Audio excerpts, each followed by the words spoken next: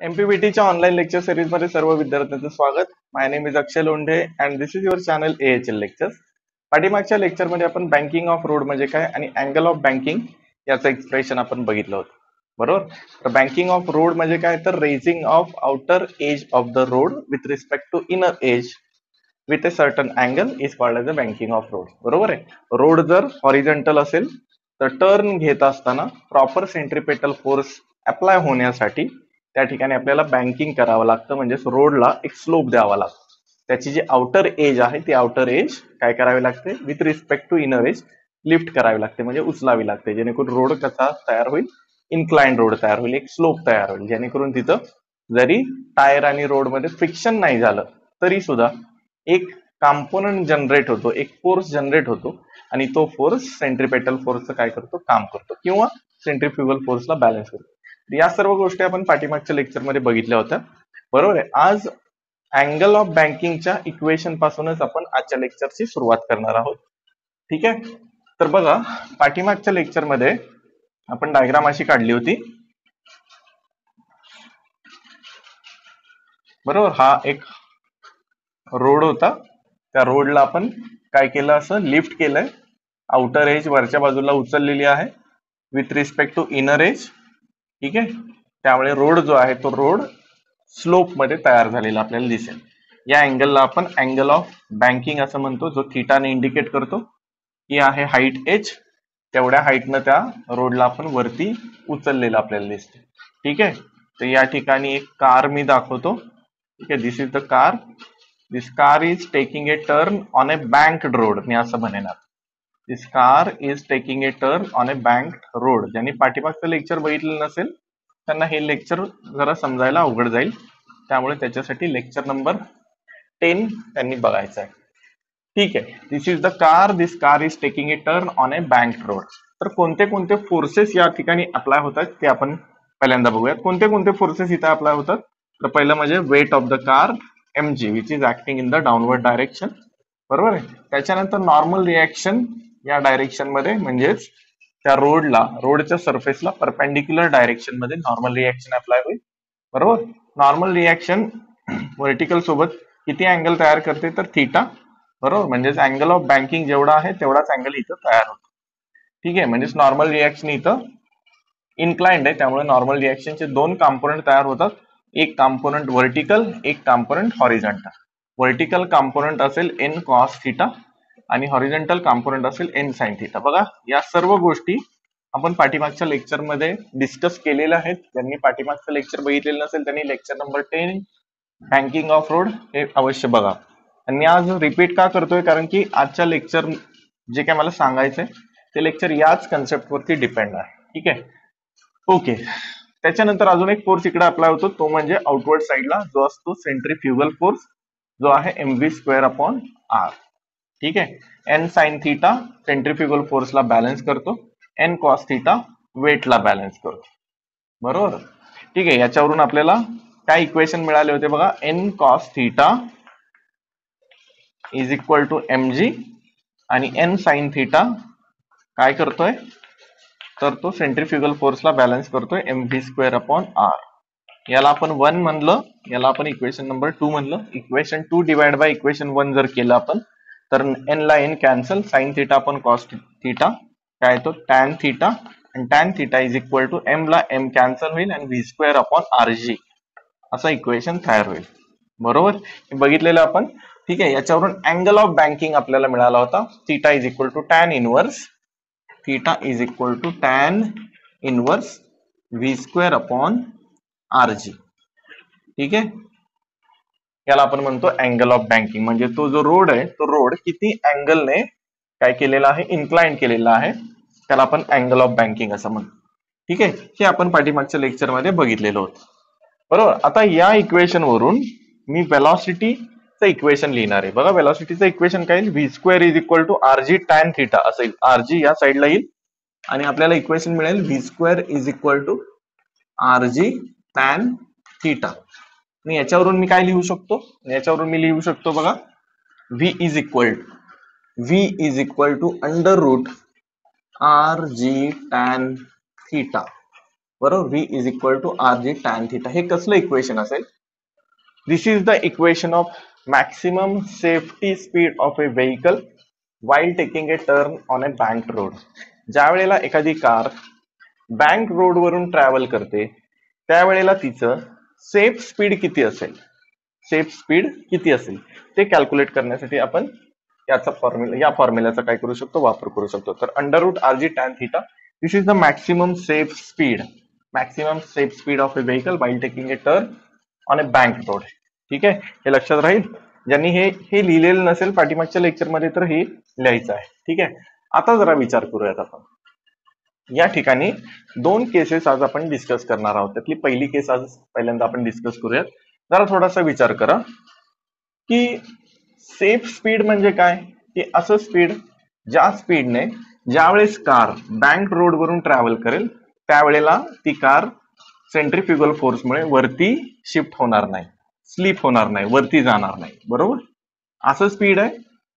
जे कसं आहे तर सेफ स्पीड आहे. बरोबर आहे?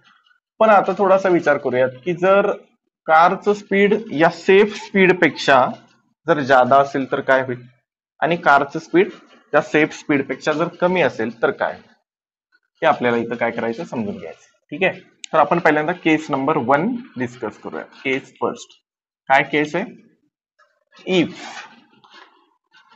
velocity of car is greater than maximum safe speed बरोबर? याला आपण व्हीएस म्हणूया व्हीएस म्हणजे काय? सेफ़ स्पीड असं आपण म्हणूयात. म्हणजे थोडक्यात काय असेल? की कारचं स्पीड ग्रेटर आहे. सेफ़ स्पीड पेक्षा under root R G tan theta पेक्षा. बरोबर आहे का? असं असेल? बरोबर? V is nothing but a speed of car which is greater than safe speed under root R G tan theta याच्यापेक्षा जास्त. आहे बरोबर आहे? अच्छा आता थोडा विचार करा. जर कारचं स्पीड जर जादा असेल तर काय होईल? स्पीड जर जादा असेल, तर याचा अर्थ सेंट्रीफ्युगल फोर्स असेल. कारण की सेंट्रीफ्युगल फोर्स काय? M V square upon R speed increase velocity वाढली वेलॉसिटी वाढली म्हणजे सेंट्रीफ्युगल फोर्स वाढलाय. सेंट्रीफ्युगल फोर्स कशापेक्षा इन्क्रीज झाला? तर तो एन साइन थिटा पेक्षा इन्क्रीज झाला. या कंडिशन मध्ये एन साइन थिटा सेंट्रीफ्युगल फोर्सला बॅलन्स करतो. बरोबर आहे? पण आपण विचार काय करतोय की कारचं स्पीड जे आहे ते आता काय झालंय? इन्क्रीज झालंय. बरोबर? सेफ स्पीडपेक्षा जादा झालं मग या ठिकाणी कार जी आहे ती कार सेंट्रीफ्युगल फोर्समुळे बाहेरच्या साईडला सरकायला सुरुवात होईल. बरोबर? कारण की वेलॉसिटी वाढली. वेलॉसिटी वाढली की सेंट्रीफ्युगल फोर्स वाढला. सेंट्रीफ्युगल फोर्स वाढला की कार वरच्या साईडला बरोबर? इमॅजिन करा कार वरच्या साईडला सरकायला सुरुवात होणार. कारण की सेंट्रिफ्युगल फोर्स याच्यापेक्षा जादा झाला. आता कार जर वरच्या बाजूला शिफ्ट व्हायला लागली तर या ठिकाणी लक्षात ठेवा. आता friction force between the tyre and road हा रोड आणि ह्या टायर यांच्यामध्ये फ्रिक्शन फोर्स आता उपयोगाला येणार आहे. आता फ्रिक्शन फोर्स त्याचं काम करायला सुरुवात करेल. बरोबर आहे? मग फ्रिक्शन फोर्स कोणत्या डायरेक्शनमध्ये अप्लाय होईल ते पहिल्यांदा कळलं पाहिजे. समजतंय का बघा? मी परत एकदा सांगतो. की आपण जे इक्वेशन बघितलं होतं ते कशाचं होतं? Maximum safe speed of a vehicle while taking a turn on a bank आता आपण असं इमॅजिन करतोय की कारचं स्पीड हे कशापेक्षा जादा आहे तर सेफ स्पीडपेक्षा जादा आहे. बरोबर? V is greater than under root R G tan कारचं स्पीड जादा आहे याचा अर्थ व्ही जादा आहे. व्ही जादा आहे म्हणजे सेंट्रिफ्युगल फोर्स जादा आहे. सेंट्रिफ्युगल फोर्स जादा आहे आणि हा कमी झाला. बरोबर? हा इन्क्रीज झाला म्हणजे हा थोडक्यात त्याच्यापेक्षा कमी झाला. म्हणजे कार वरती सरकायला सुरुवात होईल. कार जर वर सरकायला सुरुवात झाली तर टायर आणि रोडमध्ये फ्रिक्शन होणार. आणि तो जो फ्रिक्शन फोर्स आहे तो फ्रिक्शन फोर्स या केसमध्ये डाऊनवर्ड डायरेक्शनला बरोबर? डाऊनवर्ड डायरेक्शनला म्हणजेच कोणत्या? या डायरेक्शनला अप्लाय होणार आहे. तो असेल फ्रिक्शन फोर्स कसला फ्रिक्शन तर स्टॅटिक फ्रिक्शन कारण की मी तुम्हाला ज्या ठिकाणी सेंट्रिफ्युगल फोर्स एक्सप्लेन केला होता बरोबर? सेंट्रिफ्युगल फोर्स त्याच्यामध्ये मी फ्रिक्शनचा कन्सेप्ट सांगितला होता की friction force always opposes the always opposes the काय? रिलेटिव्ह मोशन ऑफ ऑब्जेक्ट ऑब्जेक्टची मोशन ज्या डायरेक्शनमध्ये होणार आहे त्याला नेहमी फ्रिक्शन फोर्स काय करत असतो? अपोज करत असतो. मग सेंट्रीफ्युगल फोर्स वाढल्यामुळे कार वरती शिफ्ट होणार आहे. वरती जाण्याचा प्रयत्न करणार आहे. त्यामुळे फ्रिक्शन फोर्स त्याला अपोज करणार. फ्रिक्शन फोर्स या डायरेक्शनमध्ये अप्लाय होईल. आणि कारला वरती जाण्यापासून वाचवणार आहे. बरोबर आहे? मग आता फ्रिक्शन फोर्स जो आहे तो फ्रिक्शन फोर्स बघा बरं. या ठिकाणी इन्क्लाइंड आहे. फ्रिक्शन फोर्स इज इन्क्लाइंड किती अँगलमध्ये इन्क्लाइंड आहे? हा अँगल किती असेल? जरा विचार करा. हा थिटा आहे. म्हणजे हा पण थिटा असेल. बरोबर? मग हा जो फ्रिक्शन फोर्स आहे बरोबर? स्टॅटिक फ्रिक्शन फोर्स याचे दोन कॉम्पोनंट तयार एक कॉम्पोनंट या डायरेक्शनमध्ये तो कोणता असेल? एफ एस कॉस थिटा बरोबर आहे? का कॉस थिटा घेतला? कारण की अँगल जिथं तयार होतो तिथं आपण कॉस घेतो. आणि दुसरा कॉम्पोनंट खाली असेल तो असणार आहे एफ एस साइन थिटा कुठला असणार? आहे एफ एस साइन थिटा बरोबर? असे दोन कॉम्पोनंट तयार होतात मग आता थोडा विचार करा. काय झालं इथं? की वेलॉसिटी जी आहे किंवा कारची वेलॉसिटी सेफ स्पीडपेक्षा इन्क्रीज झाल्यामुळे सेंट्रिफ्युगल फोर्स वाढला. सेंट्रिफ्युगल फोर्स वाढल्यामुळे फ्रिक्शन फोर्स जनरेट झाला. फ्रिक्शन फोर्सचे दोन कॉम्पोनंट तयार झाले. एक कॉम्पोनंट आला एफ एस कॉस थिटा आता एफ एस कॉस थिटा हा फोर्स एन साइन थिटा या फोर्सच्या मदतीने याला बॅलन्स करणार आहे. म्हणजे कार वरती जाणार नाही अजून सुद्धा. येत लक्षात? कार वर जाण्याचा प्रयत्न करत होती पण फ्रिक्शन फोर्सने तिला थांबवलं. फ्रिक्शन फोर्सने एक कॉम्पोनंट आपला जनरेट केला या डायरेक्शन आणि हा कॉम्पोनंट एन साईन थिटाच्या मदतीने हे दोघं मिळून आता काय करणार आहेत? या वाढलेल्या सेंट्रिफ्युगल फोर्सला बॅलन्स करणार. त्यामुळे कार वर जाणार नाही. ठीक आहे? आता थोडा वेळचा विचार करा. कारची वेलॉसिटी अजून जादा झाली. याच्यापेक्षा तर जादा आहे आता वेलॉसिटी आपण वाढवतोय. कारचं स्पीड अजून जादा वाढवतोय असं इमॅजिन करा. कारचं स्पीड जसं वाढेल तसं सेंट्रिफ्युगल फोर्स वाढेल. सेंट्रिफ्युगल फोर्स वाढला की कार वरती जाण्याचा प्रयत्न करणार. त्यावेळेला friction force static friction force असल्यामुळे तो लक्षात ठेवा सेल्फ ऍडजस्टिंग असतो. हे पण मी फ्रिक्शन फोर्सच्या कन्सेप्टमध्ये एक्सप्लेन केलेलं होतं. त्याच्यासाठी सेंट्रिफ्युगल फोर्स हा कन्सेप्ट तुम्ही ते लेक्चर तुम्ही अवश्य बघा. कारण की त्या लेक्चरमध्ये मी फ्रिक्शनचा कन्सेप्ट एक्सप्लेन केलेला होता. बघा काय सांगतोय मी? की वेलॉसिटी अजून वाढली सेंट्रिफ्युगल फोर्स अजून वाढला. फ्रिक्शन फोर्स त्यावेळेला अजून इन्क्रीज होणार. कारण की friction force self adjustment friction force या बाजूला वाढलं की एफ एस कॉस थिटा हा कॉम्पोनंट इन्क्रीज होणार. हा याच्या मदतीने सेंट्रिफिकल फोर्सला परत बॅलन्स करणार आहे. परत इमॅजिन करा की अजून जादा वेलॉसिटी कारची इन्क्रीज झाली कारची वेलॉसिटी वाढली की सेंट्रिफिकल फोर्स अजून जादा झाला फ्रिक्शन फोर्स परत इन्क्रीज होणार आहे. आणि तो एफ एस कॉस थिटाच्या मदतीने एन साइन थिटाच्या मदतीने सेंट्रिफिकल फोर्सला बॅलन्स करणार. बरोबर आहे? आता आपण असं इमॅजिन करूया. की कारची वेलॉसिटी मॅक्सिमम झाली. वेलॉसिटी कशी मॅक्सिमम सेंट्रिफिकल फोर्स त्यावेळेला मॅक्सिमम असेल. त्यावेळेला फ्रिक्शन फोर्स या बाजूला मॅक्सिमम झालेला असेल. स्टॅटिक फ्रिक्शनच्या मॅक्सिमम व्हॅल्यूला आपण लिमिटिंग फ्रिक्शन असं म्हणतो. हे पण मी सांगितलं होतं की ज्या वेळेला friction force static friction force हा मॅक्सिमम असतो त्यावेळेला त्याला आपण लिमिटिंग फ्रिक्शन असं म्हणतो. काय म्हणतो त्याला? लिमिटिंग फ्रिक्शन असं म्हणतो. बरोबर? लिमिटिंग फ्रिक्शन म्हणजेच लक्षात ठेवा मॅक्सिमम स्टॅटिक फ्रिक्शन आता सेंट्रिफ्युगल फोर्स मॅक्सिमम या ठिकाणी फ्रिक्शन फोर्स लिमिटिंग फ्रिक्शन झालंय मॅक्सिमम झालंय.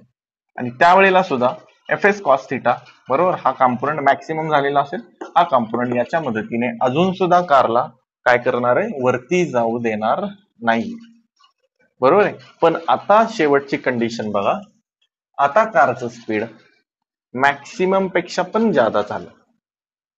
कारचं स्पीड मॅक्सिमम वेलॉसिटीच्या पलीकडे गेले. आता सेंट्रिफ्युगल फोर्स मात्र इतका जादा झालाय की फ्रिक्शन फोर्स मात्र आता स्वतःला ऍडजस्ट करू शकणार नाही. कारण की तो मॅक्सिमम लेवलला ऑलरेडी पोहोचलेला होता. आता त्याची व्हॅल्यू वाढणार नाही. बरोबर? म्हणजे हा फ्रिक्शन फोर्स इथं आता कमी पडणार. सेंट्रिफ्युगल फोर्स जादा. आता कारला कोणीही वाचवू शकणार नाही. कार वरती स्किड होणार. तर हा फ्रिक्शन फोर्सचा कन्सेप्ट आहे. तुम्हाला व्यवस्थित कळला पाहिजे. बाकीचं एक्सप्रेशन जो आहे ते एक्सप्रेशन मी तुम्हाला अगदी पाच मिनिटात लगेच सोडवून देईल पण सगळ्यात महत्त्वाचा इथला कन्सेप्ट तो कळला पाहिजे. येते लक्षात? कारचं स्पीड सुरुवातीला आपण सेफ स्पीडपेक्षा वाढवलं. बरोबर आहे? सेफ स्पीडपेक्षा कारचं स्पीड वाढलं की सेंट्रिफ्युगल फोर्स वाढतो. कार वर जाण्याचा प्रयत्न करते. तिथं फ्रिक्शन जनरेट होतं. टायर आणि रोडमध्ये फ्रिक्शन फोर्स इकडे अप्लाय होतो. फ्रिक्शन फोर्सचा कॉम्पोनंट जनरेट झाला. हा कॉम्पोनंट एन साइन थिटाच्या मदतीने काय करतो? कारला खालच्या साईडला ओढून धरतो. त्यामुळे कार वरती सरकत नाही. वेलॉसिटी वाढली की फ्रिक्शन फोर्स वाढतो. वेलॉसिटी वाढली की फ्रिक्शन फोर्स वाढतो. वेलॉसिटी वाढली की फ्रिक्शन फोर्स वाढत जातो आणि लिमिटिंग फ्रिक्शन पर्यंत येऊन पोहोचतो. आता मात्र लक्षात ठेवा वेलॉसिटी थोडी जरी जादा झाली मॅक्सिममपेक्षा पण जादा झाली तर मात्र फ्रिक्शन फोर्स स्वतःला ऍडजस्ट करत नाही आणि कार सेंट्रिफ्युगल फोर्समुळे वर सरक बरोबर आहे? येते लक्षात? मग आता आपल्याला काय बघायचंय? आपल्याला काय कॅल्क्युलेट करायचं या एक्सप्रेशनमध्ये? आपल्याला फाइंड आउट करायचं की what is the maximum velocity of car कारची मॅक्सिमम वेलॉसिटी किती? बरोबर आहे? की त्या स्पीडने जरी कार गेली तरी सुद्धा स्किड होणार नाही. कारण की मॅक्सिमम वेलॉसिटी असेल त्यावेळेला सेंट्रिफिकल फोर्सला हा मॅक्सिमम म्हणजेच लिमिटिंग फ्रिक्शन फोर्स काय करणार आहे? बॅलन्स करणार. बरोबर? मग ती जी मॅक्सिमम वेलॉसिटी आहे त्याचं एक्सप्रेशन काय ते आपल्याला बघायचं. ठीक आहे? इथं आपण काय लिहूयात? Here here static friction static friction force static friction force acts acts along the road. बरोबर friction force along the road असं अप्लाय होतं इन डाऊनवर्ड साईड बरोबर इन डाऊनवर्ड साईड बरोबर? डाउनवर्ड साईड या डायरेक्शनमध्ये फ्रिक्शन फोर्स काय होतंय? काम करते ठीक आहे? बर. मग आता कोणते कोणते फोर्सेस कोणत्या कोणत्या फोर्सला बॅलन्स करतात जरा बघूया. आता सगळा मॅथमॅटिक्सचा पार्ट इथं चालू ठीक आहे? बघा व्हर्टिकल डायरेक्शनमध्ये किंवा अपवर्ड साईडला एन कॉस थिटा अप्लाय होतोय. आणि N cos theta F sine theta आणि एम जी या दोघांना बॅलन्स करतो. बरोबर? म्हणजे आपण या ठिकाणी काय लिहू शकतो बघा? एन कॉस थिटा बरोबर? N cos theta is equal to कोणाला बॅलन्स करतोय तो? तर F S sine theta plus M G बरोबर? प्लस का घेतलं? कारण की दोन्ही फोर्स एका डायरेक्शनला आहेत त्यामुळे पॉझिटिव्ह घेतलं. बरोबर? आणि एन कॉस थिटा दोघांना बॅलन्स करतो म्हणून इज इक्वल टू लिहिलं. ठीक आहे? आता एफ एस साइन थिटा पण या डायरेक्शनमध्ये आणूयात. सॉरी या साईडला आणूयात. म्हणजे काय येईल? N cos theta minus F S sine theta is equal to M ठीक आहे? आता एफ एस म्हणजेच काय? एफ एसमध्ये स्टॅटिक फ्रिक्शन पण कसलं स्टॅटिक फ्रिक्शन आहे? हे मॅक्सिमम स्टॅटिक फ्रिक्शन आहे. मॅक्सिमम स्टॅटिक फ्रिक्शनलाच आपण लिमिटिंग फ्रिक्शन म्हणतो. आणि लिमिटिंग फ्रिक्शन कसं काढलं जातं? तर it is equal to mu S into N mu S म्हणजे static sorry coefficient of static friction into normal reaction बरोबर? F S is equal to limiting friction आहे. कारण कंडिशन आपण कोणती कन्सिडर करतो या ठिकाणी? मॅक्सिमम व्हेलॉसिटी आहे. बरोबर? व्हेलॉसिटी कशी आहे? मॅक्सिमम आहे. वेलॉसिटी मॅक्सिमम म्हणजे centrifugal force maximum friction force मॅक्सिममच असणार त्या केसमध्ये कारण की maximum friction force limiting friction force centrifugal फोर्सला इथं बॅलन्स ठीक आहे? अच्छा. मी एफ़ इंटू एन हे लिहू शकतो. म्हणजेच लिहिता येईल N cos theta minus mu S into N sine theta is equal to M अच्छा. एन कॉमन घेऊयात. काय येईल बघा बरं? देअर फोर एन ब्रॅकेटमध्ये येईल कॉस थिटा मायनस इकडे काय येईल? Mu S sine theta is equal to M याला म्हणूयात आपण इक्वेशन नंबर वन ठीक आहे? येथे लक्षात? फक्त काय केलं मी तर फोर्सेस बॅलन्स करत चाललोय वेगळं काय करत नाही. ठीक आहे आता हा फॉर्म्युला लक्षात ठेवा मॅक्सिमम स्टॅटिक फ्रिक्शनचा आता आपण पुढे बघूयात की हॉरिझॉन्टल डायरेक्शनमध्ये कोणते कोणते फोर्सेस एकमेकांना बॅलन्स करतात. या डायरेक्शनमध्ये कोण आहे? एन साइन थिटा आणि एफ एस कॉस थिटा हे इकडे चाललेत बरोबर? आणि हे दोघं मिळून कोणाला बॅलन्स करतायत? तर सेंट्रिफ्युगल फोर्सला बॅलन्स करतात म्हणजे मी काय लिहू शकतो? बघा बरं. या ठिकाणी मी असं लिहू शकतो. नाव N sine theta plus F S cos theta is equal to centrifugal force कसं आहे? मॅक्सिमम आहे.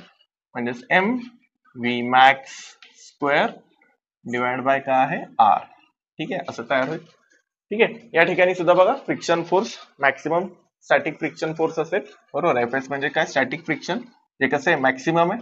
त्यामुळे या ठिकाणी सुद्धा आपण काय करूयात? ही व्हॅल्यू टाकूया म्हणजे काय मिळेल? N sine theta plus mu S into N cos theta is equal to M V max square कारची वेलॉसिटी मॅक्सिमम आहे. बरोबर आहे? अच्छा. असं येईल. एन कॉमन घेऊयात. दोन्ही ठिकाणचा एन कॉमन घेतलं तर काय तयार होईल? N ब्रॅकेटमध्ये sine theta theta plus mu S cos theta is equal to M V max square divide by R equation तयार होईल. याला आपण म्हणूयात इक्वेशन नंबर टू ठीक आहे? बघा फक्त आता सिम्प्लिफाय करत जायचंय. आपल्याला काढायचंय काय? आपल्याला फाइंड आउट करायचंय maximum speed of a car with which vehicle take a turn on a bank road ते आपल्याला फाइंड आउट करायचं. ठीक आहे? सो डिवायडिंग करूया तिथं आपण. Dividing two by one equation two ला वन ने काय करूया डिवाइड करूया इक्वेशन टू ची लेफ्ट हँड साइड ही आहे. इक्वेशन वन ची लेफ्ट हँड साइड ही आहे. बरोबर?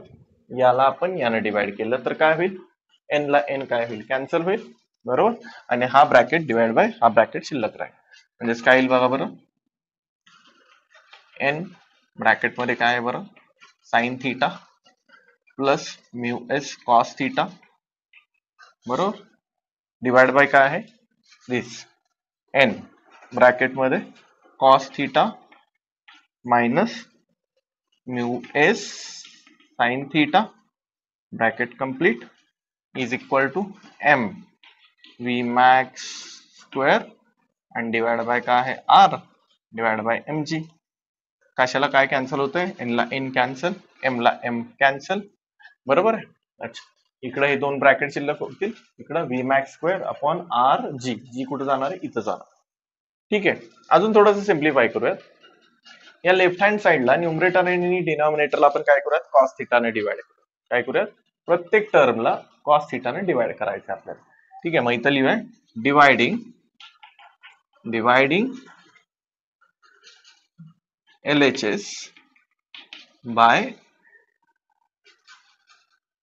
किंवा असं लिहूया dividing numerator and denominator of L H S by cos theta असं करूया काय होईल जरा विचार करा। प्रत्येक टर्मला कॉस थिटाने डिवाइड करायचं। साइन थिटा आपण कॉस थिटा काय येणार आहे? ठीक आहे? इकडे उरेल tan theta plus mu S आहे तसा. कॉस थिटा आपण कॉस थिटा वन म्हणजे कॅन्सल झालं. पुढं कॉस थिटा आपण कॉस थिटा वन म्हणजे ते कॅन्सल झालं. मायनस आहे असं. म्यू एस ठीक आहे? साइन थिटा आपण कॉस थिटा काय येईल? Tan theta is equal to काय उरणार आहे बघा इकडच्या बाजूला? V max square divide by R G G कुठं जाणार आहे इथं जाणार. ठीक आहे? असं तयार होईल आपल्याला फाइंड आउट करायचं आहे मॅक्सिमम वेलॉसिटी त्यामुळे या टर्मला आपण एका बाजूला ठेवूयात आणि आरजी इकडच्या बाजूला. म्हणजे काय येईल बघा बरं. अच्छा. B max square is equal to R G ब्रॅकेटमध्ये बरोबर? आर जी मल्टिप्लाय होणार आहे. Tan theta plus mu bracket आहे तसाच उरेल tan theta plus mu S divide by one minus mu S tan theta one minus mu S tan theta असं उरेल. येते लक्षात? बोर्डवरती दिसतंय का?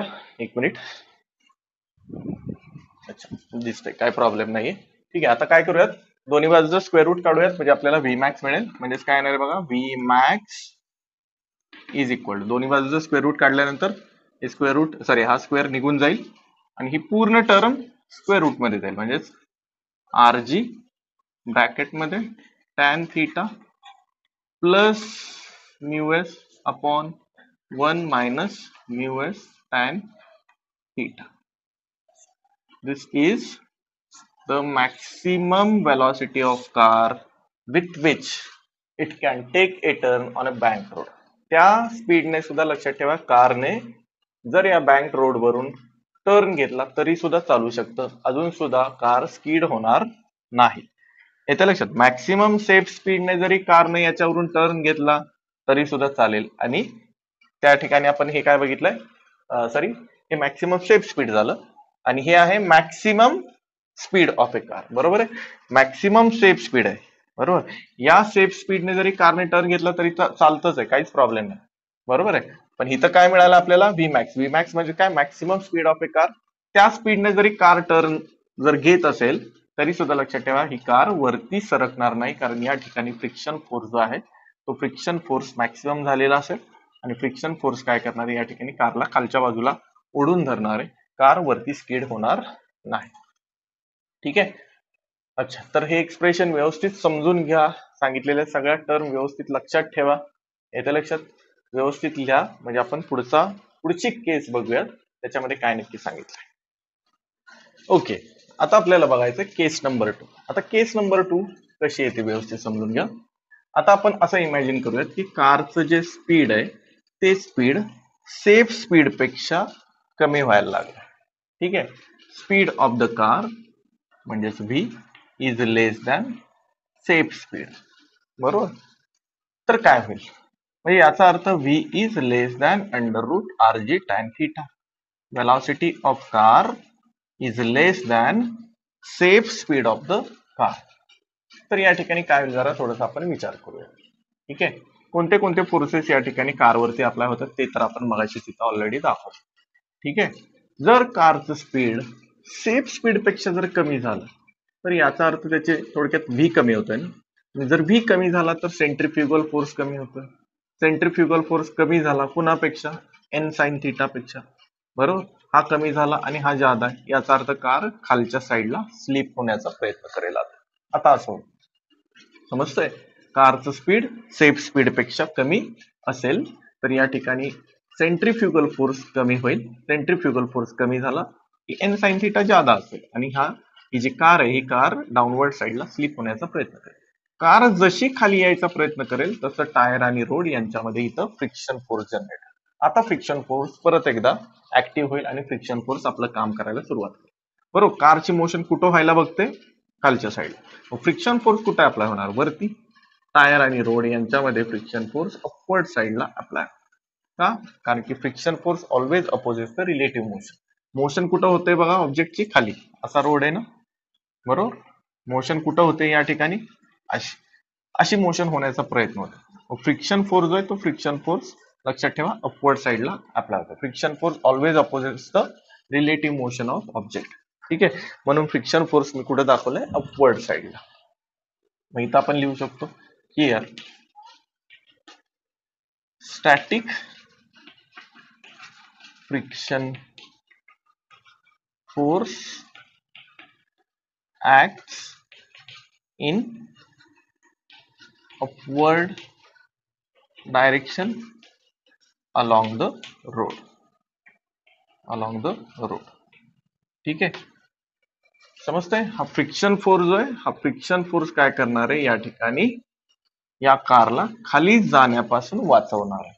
मग फ्रिक्शन फोर्स जो आहे तो फ्रिक्शन फोर्स किती अँगलमध्ये जरा विचार करा. यानं हॉरिझॉन्टल सोबत यानं हॉरिझॉन्टल सोबत इथं अँगल केला. बरोबर? हॉरिझॉन्टल सोबत इथं अँगल केलाय. तो अँगल याच्या इतकाच असणार. बरोबर? कारण की ही लाईन आणि ही लाईन मी पॅरल दाखवली. मग हा अँगल असेल थीट याचा अर्थ या फ्रिक्शन फोर्सचे हा जो फ्रिक्शन फोर्स दाखवलाय याचे दोन कॉम्पोनंट तयार होतील. एक असेल या डायरेक्शनमध्ये एक असेल या डायरेक्शन मग हा कॉम्पोनंट कोणता असेल? हा असेल एफ एस कॉस थिटा जो इकडं असेल. आणि दुसरा कॉम्पोनंट असेल वरच्या साईडला बरोबर? दुसरा कॉम्पोनंट असेल वरच्या साईडला तो कोणता असणार आहे? एफ एस साईन थिटा बघा मी तो ऑलरेडी लिहून ठेवला.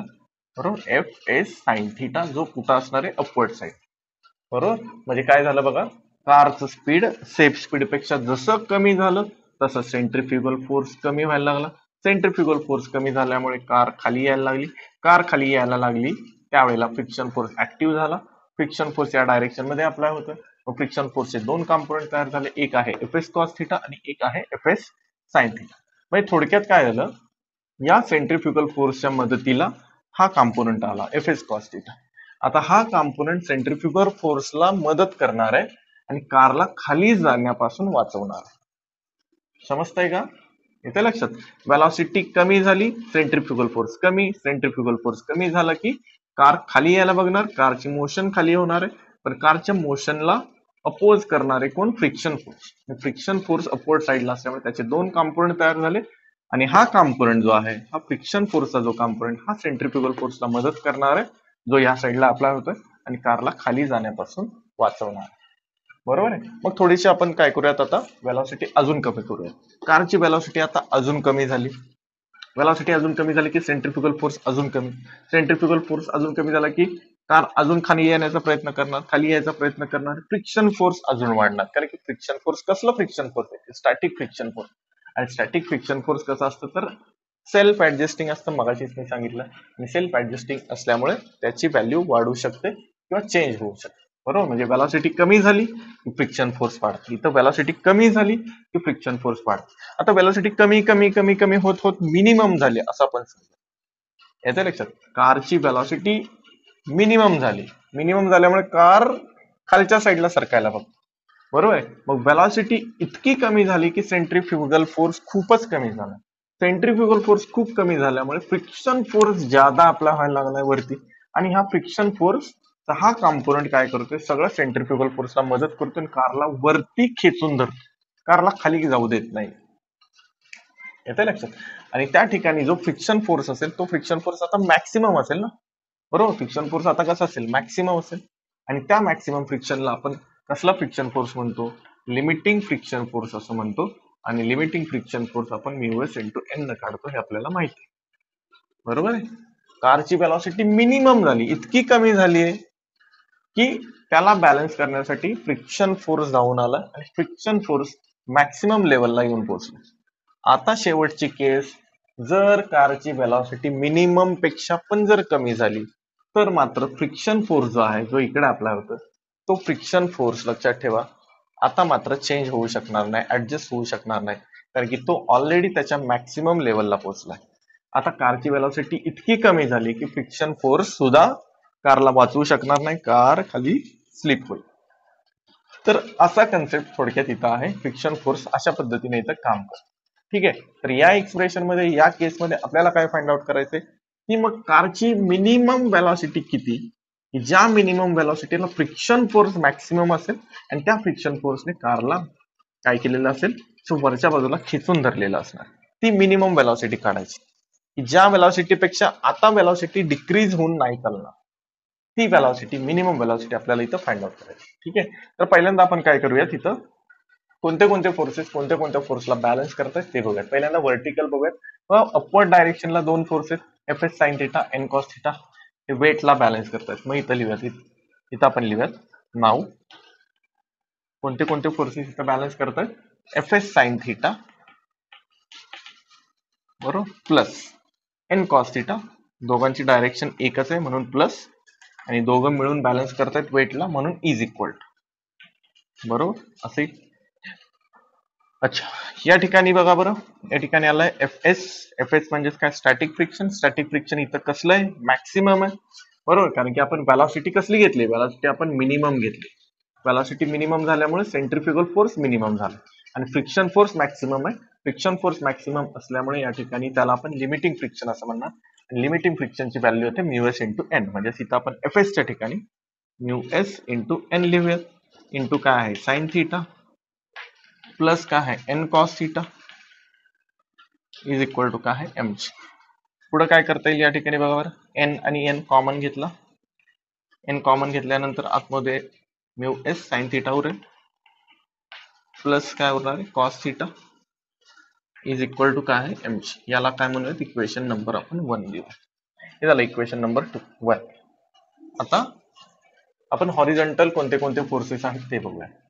या डायरेक्शनमध्ये कोणते दोन फोर्सेस आहेत? एक आहे एफ एस कॉस थिटा आणि दुसरा आहे centrifugal force M V minimum square upon R आणि उजव्या बाजूला कोणता फोर्स आहे? एन साइन थिटा या फोर्सला हे दोघं मिळून बॅलन्स करण्याचा प्रयत्न करतात. बरोबर? एन साइन थिटा याला बॅलन्स करण्यासाठी सेंट्रिफ्युगल फोर्स आणि एफ एस कॉस थिटा हे दोघं मदत करतात. ठीक आहे? मग इथं काय लिहिता येईल? अँड बघा. काय लिहिता येईल इथं आपल्याला?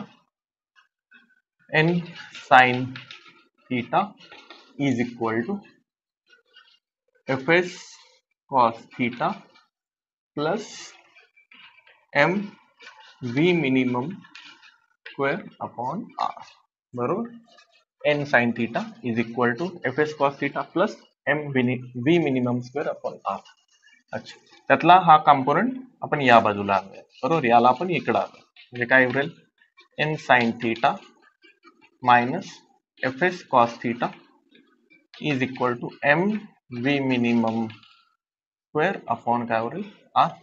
परत एकदा एफ़ एस म्हणजेच काय मॅक्सिमम स्टॅटिक फ्रिक्शन आहे या ठिकाणी? लिहू शकतो N sine theta minus F S म्हणजेच काय म्यू एस इंटू एन बरोबर? एफ़ एस म्हणजेच काय इथं maximum static friction which is calculated as mu S into N बरोबर? Cos theta is equal to m v minimum square upon r. ठीक आहे? n common घेतला तर काय उरेल आतमध्ये उरणार आहे sine theta minus sorry mu S cos theta is equal to M V minimum square upon R ठीक आहे? याला म्हणलं आपण इक्वेशन नंबर ठीक आहे?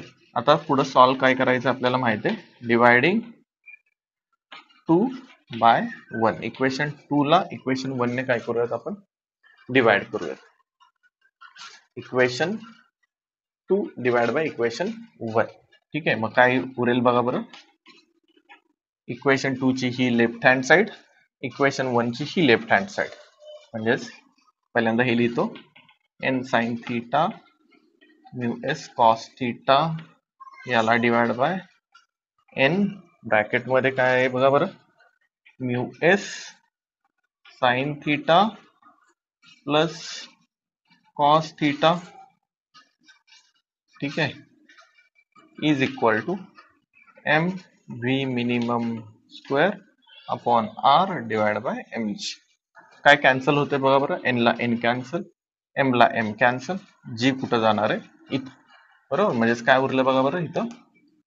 साईन थिटा मायनस ओके आपण एक काम करूयात मगासारखंच.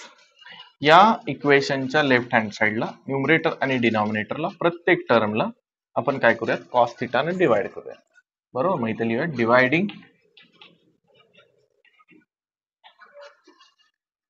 dividing numerator and denominator of LHS by cos theta काय उरेल बघा बरं मग इथं. साइन थिटा पण कॉस थिटा काय उरणार? Tan theta tan theta minus इथं काय उरेल? म्यू एस कॉस थिटा पण कॉस थिटा कॅन्सल झालं.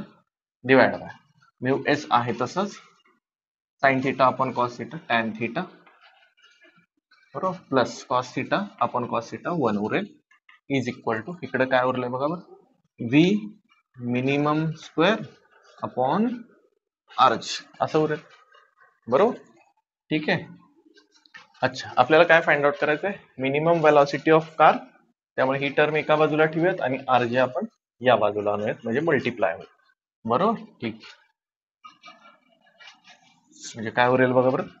Therefore V minimum square is equal to R G आणि ब्रॅकेटमध्ये tan theta minus mu S tan theta minus mu S divide by one plus mu S tan theta, mu S tan theta.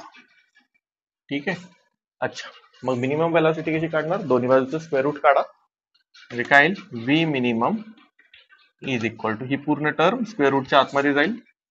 Under root काय येईल? R G ब्रॅकेटमध्ये tan theta minus mu S divide by one plus mu s tan theta. This is the required expression for minimum velocity of car with which it can take a turn on a bank road. ती अशी velocity मिळाली आपल्याला कारची. तो असा formula आहे. इथे लक्षात हा असा फॉर्म्युला आहे.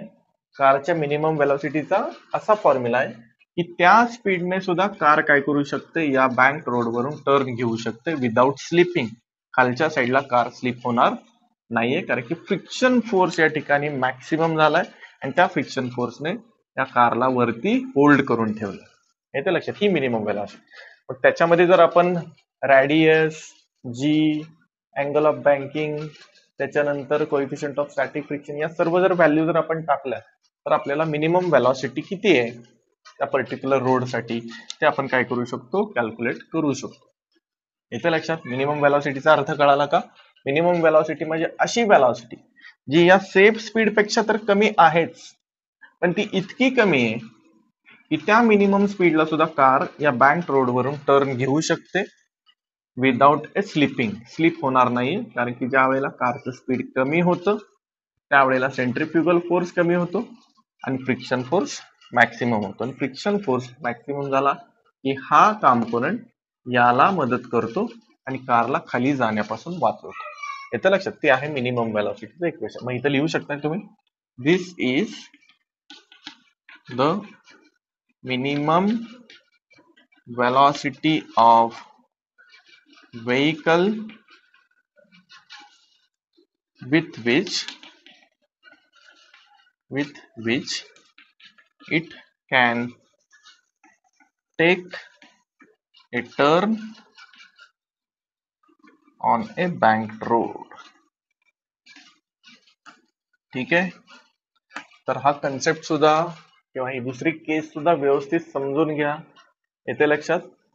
दोन्हीच्या दोन्ही केसेस व्यवस्थित समजून घ्यायचा प्रयत्न करा.